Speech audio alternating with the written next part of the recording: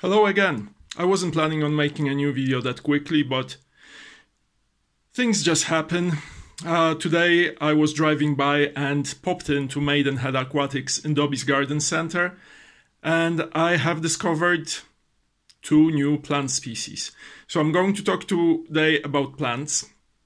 Um, this tank is pretty new, it's only one month old, and um, it's quite low energy tank, which means that the lights aren't particularly strong and the plants that you see growing there have low demands when it comes to light or nutrients. So they should be relatively easy. Um, uh, as I cycle this tank, I do 30% water changes on weekly basis. It received three so far and I do add a fertilizer, Seachem's Flourish, on a weekly basis, but that's about it. Uh, lights are from Aquael, LED slim lights, 5 watt each, not much. Uh, Eheim pickup filter, and in the corner there is Aquael's smart heater, but you can't see it because it's obstructed by the filter. Right, so let's get to plants. So the centerpiece, a piece of bogwood, and forgive me, um, ocean rock, but it's only there to weigh the bogwood down. The plant you see, the centerpiece, is actually a type of hygrophila, Hygrophila pinnatifida. Uh, a lot of aquascapers nowadays use that plant it spreads through shoots,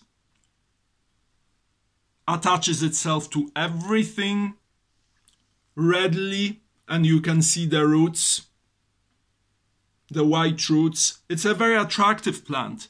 It has olive stems. Underneath the, la the plant is a little bit burgundy in color, and from above, very lush green. So very attractive plant much quicker growing than Java fern or anything else from a fern family. So this is the first time I've got this plant in my tank and I'm really impressed.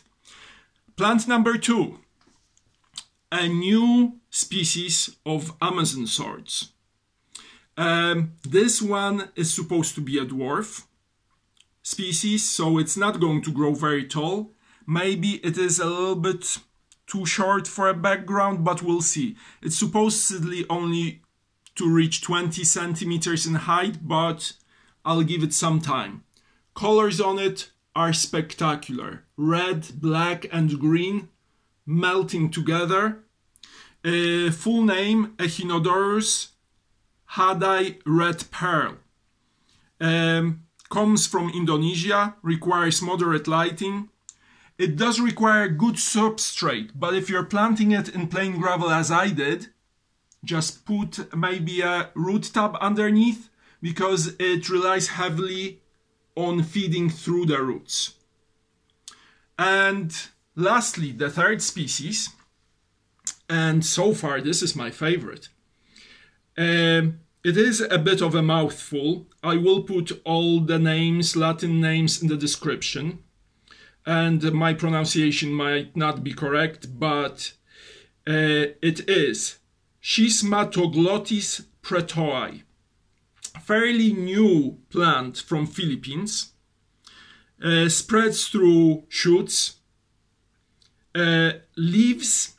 I think you agree that they do resemble Anubias petite very dark green, very nicely contrasting with other plants and the background.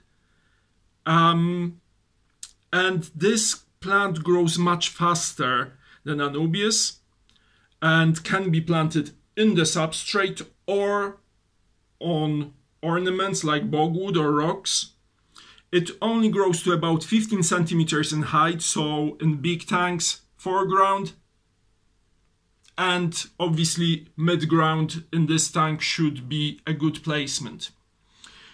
So, um, well, I hope I encouraged you to get these plants because they're really, really nice. Um, really nice colors. Uh, just to let you know, Three pots of these plants at Maidenhead were only 11 pounds, so not a bad find. Um, if you ever would like to meet in person and have a fishy chat, please come and join us at Highbank Community Centre where Robin Hood Aquarists Society meets uh, every second Monday of the month. And actually, on the 9th of March, I will be giving a talk on culturing Daphnia in and outdoors. So I hope you enjoyed this video. Please comment, give it thumbs up, and I'll speak to you soon.